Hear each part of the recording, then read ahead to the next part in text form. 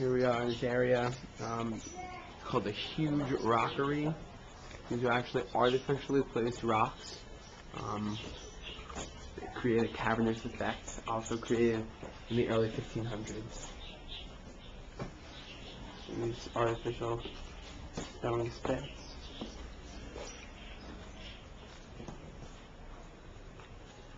It opens up. To this is amazing area.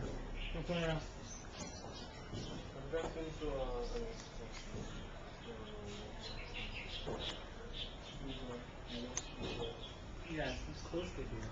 Uh, like they speak in one speaker.